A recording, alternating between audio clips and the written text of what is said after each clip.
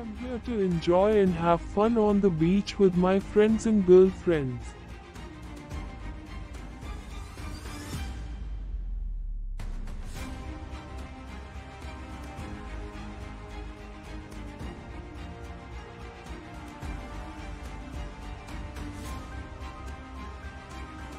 Spoil our happiness, demons living in hell came from the sea to torment us.